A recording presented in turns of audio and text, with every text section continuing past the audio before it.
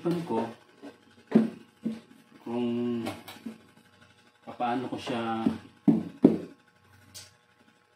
malagyan or ma-mount ang ah, tripod ng camera dito para may paa siya at para siyang easel. Um, hanapan ko ng paraan para ma ano natin.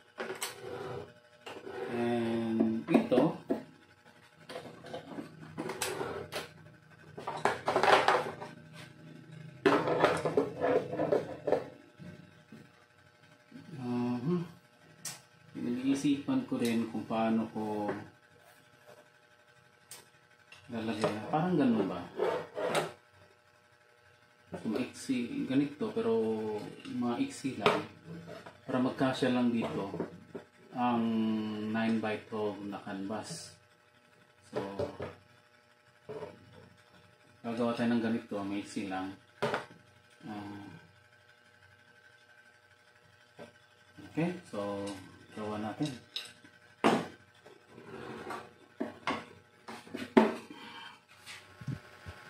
So, magkakat tayo ng magkakat ako ng quarter inch plywood para i-support natin dito sa ilalim.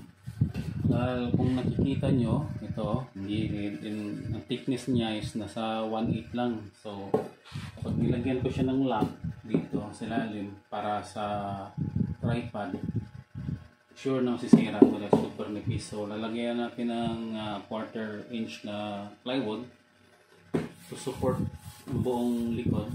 Ganyan. Tapos lalagay din natin yung lock para hindi siya masisira.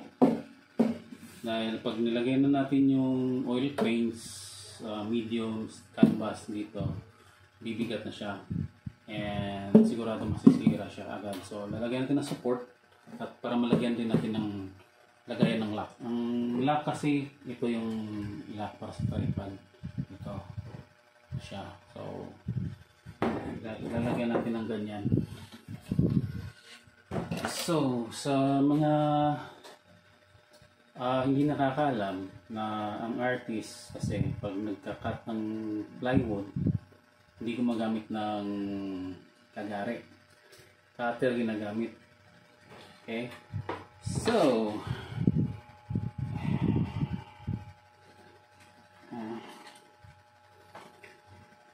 hindi naman diretso, unti-unti lang.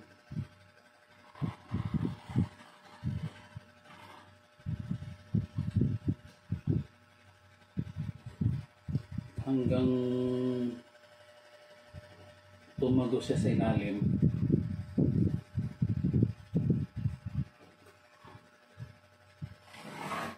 Ayun. Hanggang na, ah, earlier, gumawa ako ng ganito. Ito yung susuportahan ng ah, lock. Then, i-screw natin dito sa likod, plywood, ganyan. Okay, so, yun. So, nag-drill na rin ako sa butas is limutan ko yung size nito. Basta ano to, mga 7 mm ng hole. Ayan, nagawa na rin ako ng hole. Parehas dito. Ayan, tingnan natin. Ayun, ito. Ganyan ang mangyayari. Dahil ito, ito siya, para dito. Yan, pares dyan. Dito, dito, dito ang ano, para lock. So, ibabao natin dito sa butas.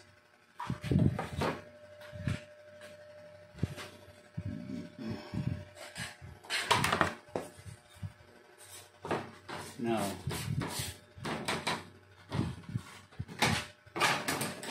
niraround mo natin natin yung gilid. Tapos para bago lihaan.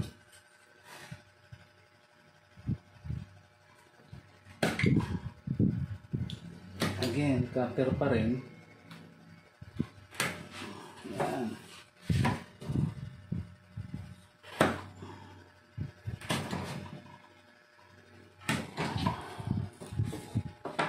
Then pag ah, pag mapuro, i-sharp mo lang ganito.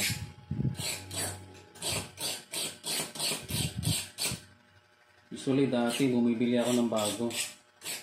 Ng ganito eh pagtanto ko pwede pwede pala siyang hasain lang. So hinahasa ko na lang siya. Mahal eh. Mahal siya eh. Mas... Yun oh.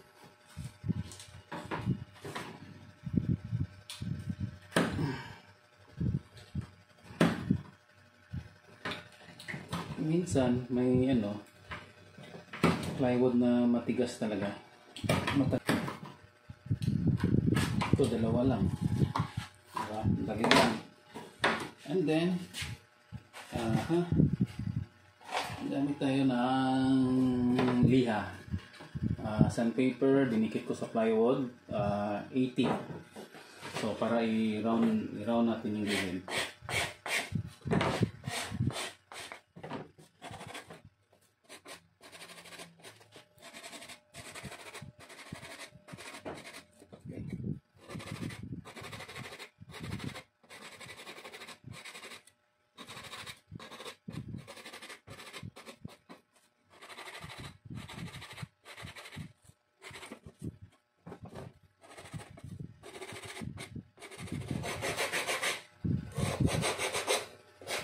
Pero kung bibili ako ng French easel, may kasamang paa na yun, diba? yung French easel. Mahal eh. Almost 3,000. Tapos itong, ito naman is ano lang, 600 plus lang. Tapos naka-discount pa ako. So 581 na lang, 581 pesos. So laking save. Ito naman, ganun din. Ira-round na, ira-round ko to.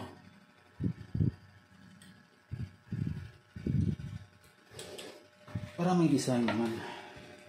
Uh, gusto lang ano. Ito. Para may design naman.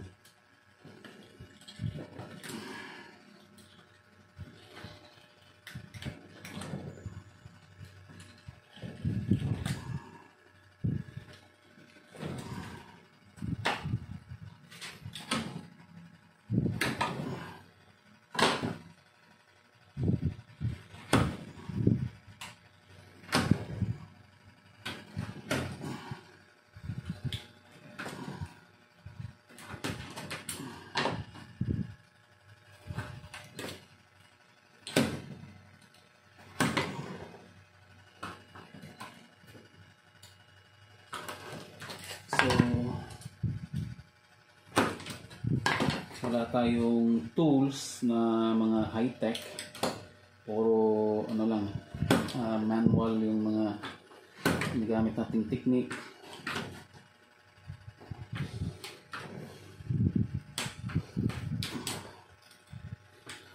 Yung mga natutunan ko sa school at sa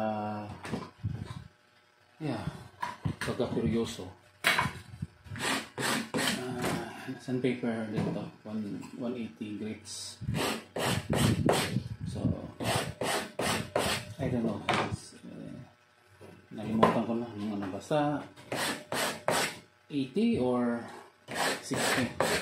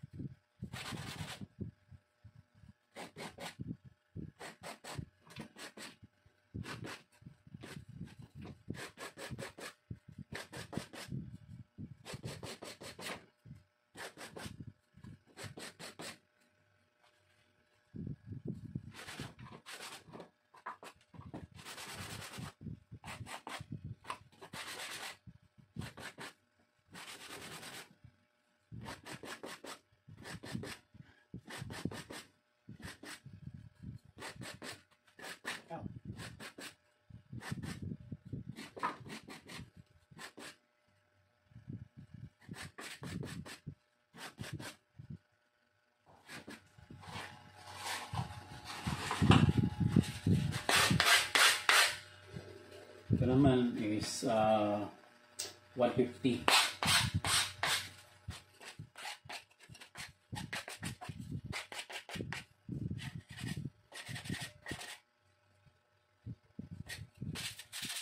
Okay na.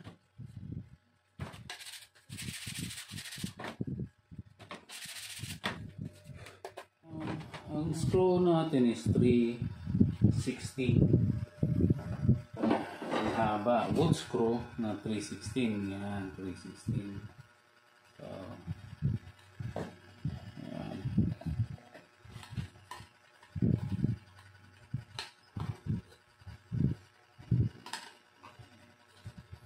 Ah, tama lang. So tama lang siya.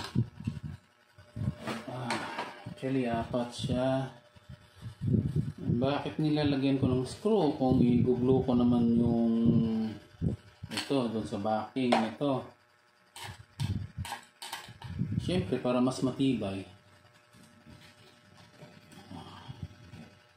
Lalo na sa outside pag nag plain air Ah, left and right yung hangin yung direction ng malakas na hangin. So magkakaroon ng vibration malalakas na tulak ng hangin ng uh, easel canvas? Hindi lang mabasag masira yung flooring ng box kaya lagyan natin ng support ayan Ayun siya. No, ito namang marking na to, bu- bubutasan natin. Para sa ano yun eh. Ah, wala akong sample eh.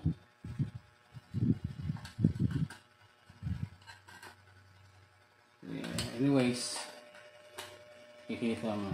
Kapakita ko mamaya.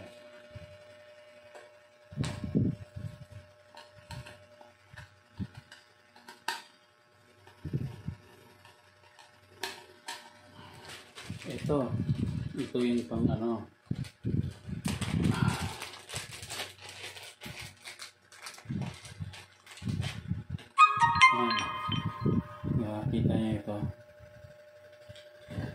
Dito di- dito sa ano marka. Para sa markan niyan.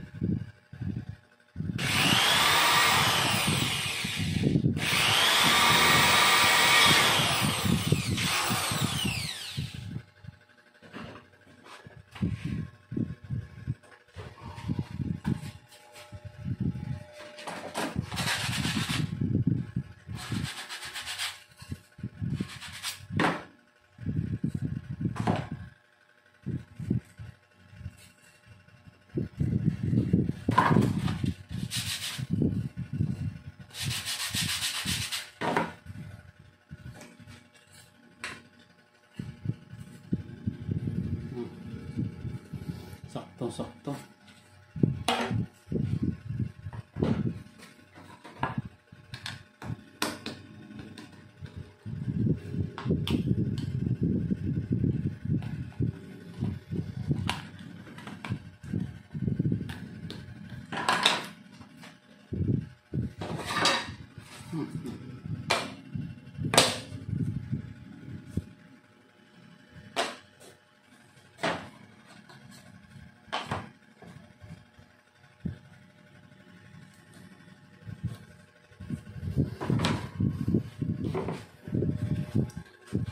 Ah, yung iba gumagamit ng wood glue pero usually ako gumagamit ginagamit ko lang is ah ito white glue. Ah, para sa mga kahoy na works.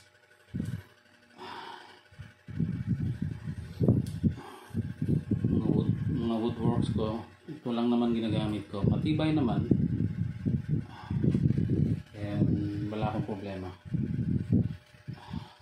noon pa so ilang taon ko nang ginagamit tong na paraan na white glue lang gamit ko.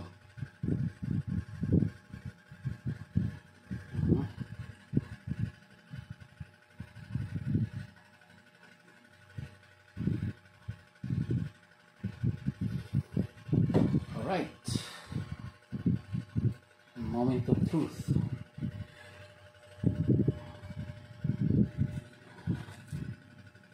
Hmm, Hindi nyo napapansin, marking akong ginagawa eh. Kaya may sinisilip-silip ako. Kaya may mga excess sa gilid, tatanggalin natin. Okay.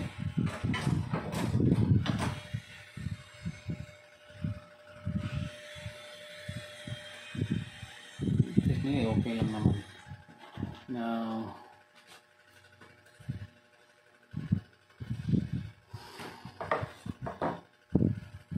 screw natin para ma-permanent na siya.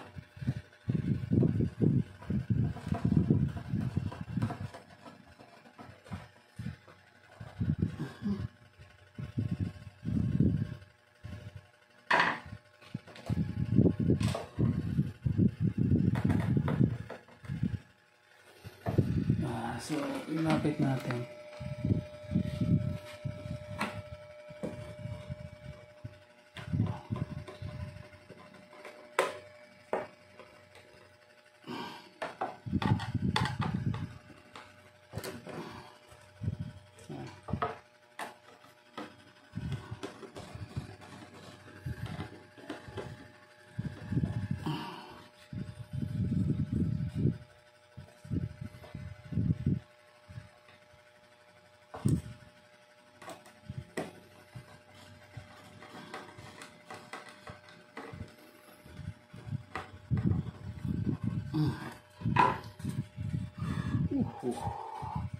So, may mga excess sa gilid na uh, glue. Tanggalin natin. Tanggalin ko. So, as you can see, mga low-tech yung mga tools natin dito sa shop. Sa work ta- working table natin. Ah, wala, wala akong malaking budget eh para gumawa ng mga high-tech. So mga puro DIY lang yung ano. ah, kaya kong gawin. So, ito. ah ipipress lang natin to para lalong dumikit at tumutay yung ah, nilagyan natin ng glue. Diba? Ah. Yan. Na ngayon, hihigpitan ko na.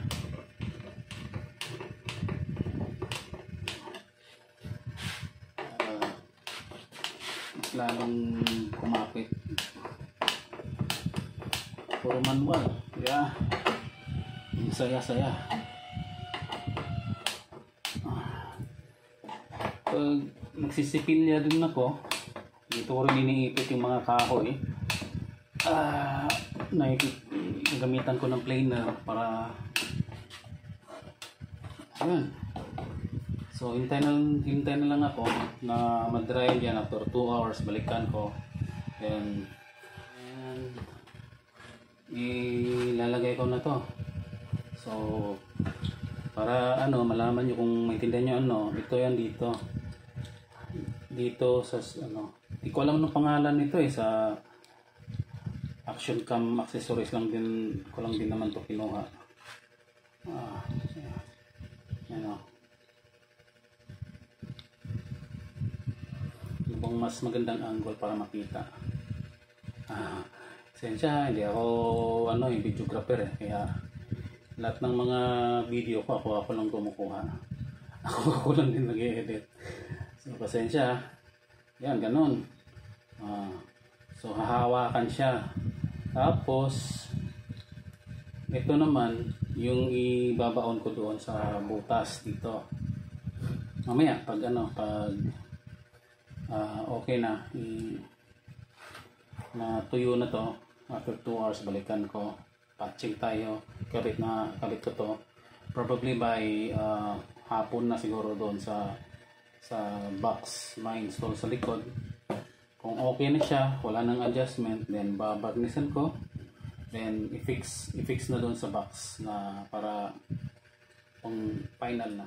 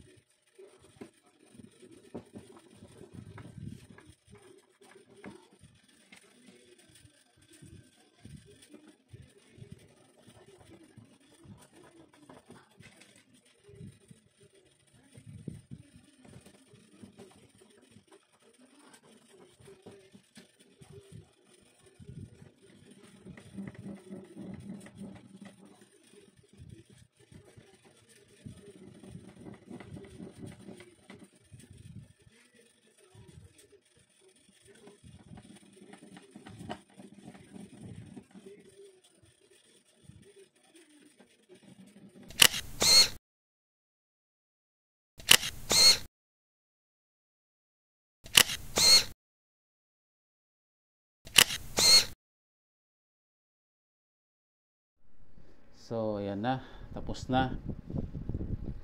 So, iti-testing natin ngayon sa tripod. Ayan.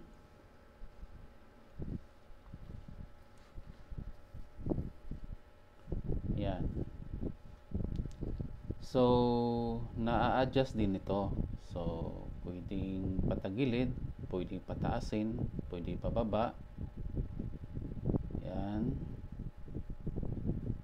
And, pwede din siya iikot. So, depende sa direction na gusto mo. Yan. So, easy na lang yung pag plain air ko dahil may lalagay na sa isang lugar lahat o isang box lahat. Alright, so salamat mga kapinta. So, kung hindi nyo pa na subscribe yung channel ko, please subscribe, like, and share ah, para ma-promote ni YouTube sa ibang mga interesado sa ating ah, ginagawa. Alright, so anyways, thank you and have a good day.